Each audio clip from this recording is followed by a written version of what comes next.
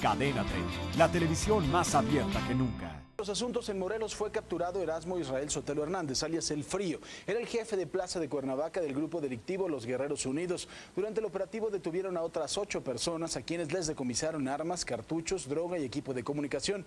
A El Frío se le relaciona con por lo menos 30 homicidios. Y bueno, cuando se difundió la noticia de la captura del frío, integrantes del grupo delictivo Guerreros Unidos desencadenaron una serie de enfrentamientos en distintos puntos de Cuernavaca. Querían distraer a la policía para poder rescatar a El Frío, quien se encuentra hospitalizado tras su captura. Con esta es la tercera ocasión en que el capo entra y sale de la cárcel, pero ahora las autoridades aseguraron que hay pruebas sólidas, contundentes en su contra.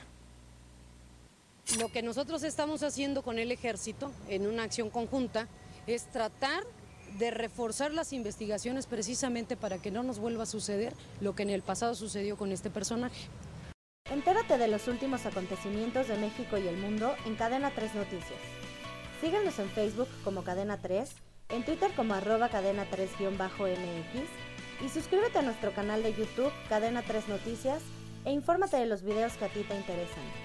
¿Quieres ver más? Te recomendamos estos videos.